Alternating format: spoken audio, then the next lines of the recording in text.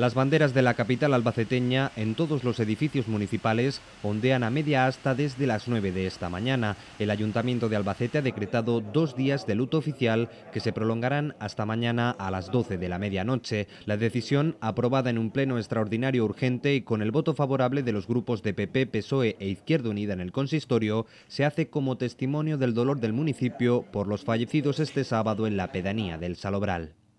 En estos momentos de gran dolor, el Pleno Municipal adopta por unanimidad el siguiente acuerdo.